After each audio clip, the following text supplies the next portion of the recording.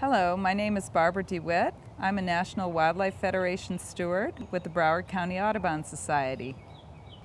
Uh, the life expectancy of a hummingbird is from three to six years, although they have been found to live 12 years uh, in, uh, I believe that's in captivity.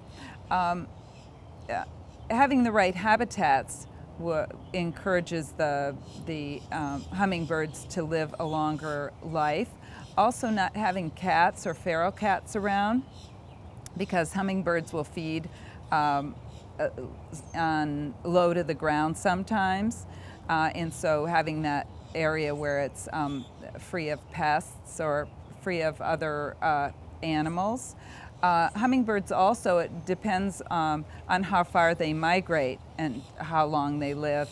Uh, hummingbirds here, the ruby-throated hummingbird, um, migrates from, some of them migrate from all the way up in Canada uh, down to Florida or down through uh, Mexico and those they, they uh, follow the flowers and, and rivers uh, to get food and fly uh, down to Mexico and Central America uh, for, um, for the winter time when it gets cold in the north.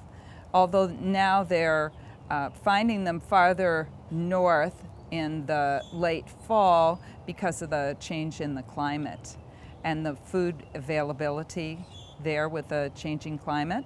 Hummingbirds follow the food source and so they're now staying farther north longer because of climate change. It's warmer in the north and they're, they're staying with their food. Um, they have clues, um, cues to go south and then they'll come to Florida and also down through the center of the United States and down to Texas and Central and South America.